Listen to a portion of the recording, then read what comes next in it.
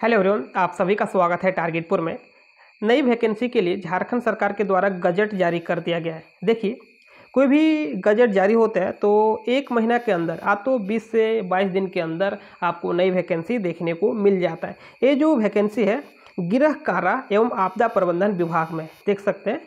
और इसका अधि, अधिसूचना जारी हुआ था चार अगस्त दो हज़ार बाईस को। देखिए, इसमें जो पोस्ट है फायर स्टेशन ऑफिसर तो इसके लिए क्या क्या योग्यता चाहिए? देखिए अभ्यर्थियों को आयोग में आवेदन प्राप्त होने की अंतिम तिथि तक केंद्र सरकार अथवा राज्य सरकार द्वारा स्थापित मान्यता प्राप्त विश्वविद्यालय से विज्ञान स्नातक उत्तीर्ण होना अनिवार्य होगा।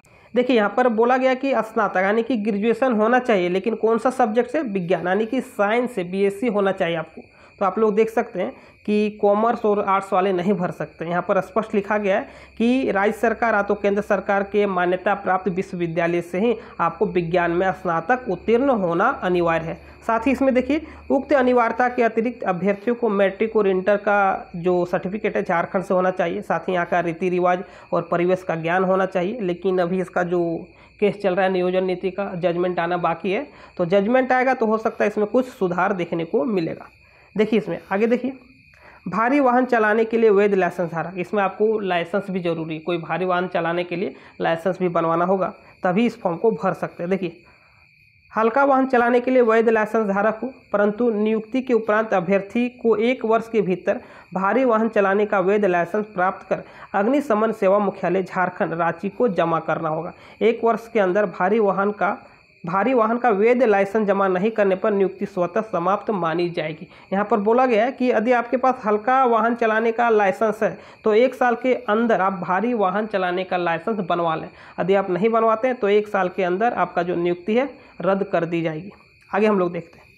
देखिए फायर स्टेशन ऑफिसर पद के, पद पर नियुक्ति के लिए दो वर्ष के अंदर राष्ट्रीय अग्निशमन सेवा महाविद्यालय नागपुर से स्टेशन अधिकारी कोर्स का प्रशिक्षण प्राप्त करना अनिवार्य होगा। यहाँ पर लिखा गया है कि यदि आपका नियुक्ति फायर स्टेशन ऑफिसर के पद पर होता है तो नियुक्ति के दो वर्ष के अंदर आपको राष्ट्रीय अग्निशमन सेवा महाविद्यालय नागपुर से स्टेशन अधिकारी का कोर्स होता है, यानी कि ये जो प्रशिक्षण है, इसे प्राप्त करना होगा।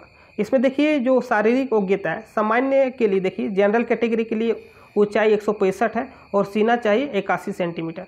और अत्यंत पिछड़ा वर्ग, और पिछड़ा वर्ग देखिए, यहाँ पर ओबीसी के बारे में बताया गया, एक सौ पैंसठ सेंटीमीटर ऊंचाई और इक्यासी सेंटीमीटर आपका सीना का माप होना चाहिए। और एस सी के लिए एक सौ बासठ सेंटीमीटर और सीना का माप देखिए, उनासी सेंटीमीटर है। बाकी कुछ इसमें आरक्षण भी है। देखिए इसमें जो एज का क्राइटेरिया है ई e और यहाँ पर जनरल के लिए न्यूनतम इक्कीस साल और अधिकतम अट्ठाईस साल। और ओबीसी के लिए देखिए, न्यूनतम इक्कीस और अधिकतम तीस वर्ष और एस सी आदिम जनजाति के लिए न्यूनतम इक्कीस और अधिकतम तैंतीस साल यहाँ पर एज क्राइटेरिया रखा गया है। अब देखिए मेडिकल। चिकित्सा जाँच में देखिए, नियुक्ति हेतु उम्मीदवारों को शारीरिक एवं मानसिक रूप से स्वस्थ होने की अनिवार्यता रहेगी। चिकित्सीय जाँच हेतु पुलिस अवर निरीक्षक की नियुक्ति में निर्धारित मापदंड लागू होंगे। इसमें ज़्यादा फ़िज़िकल नहीं होगा, थोड़ा बहुत फ़िज़िकल होगा और लगभग लगभग सब इसमें पास ही हो जाता है।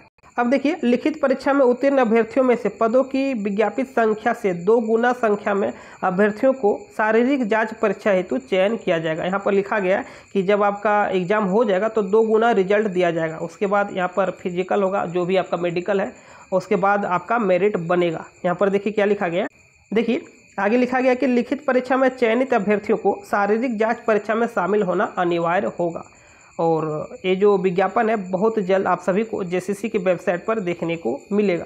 आगे देखिए, इसमें क्या है कि यदि कोई उम्मीदवार अपने ऊंचाई, सीना की माप से संतुष्ट नहीं हो तो वह तीन दिनों के अंदर महानिरीक्षक, झारखंड अग्निशमन सेवा, रांची के समक्ष अपील करे, कर सकेगा। इस मामले में महानिरीक्षक, झारखंड अग्निशमन सेवा, रांची का निर्णय अंतिम होगा।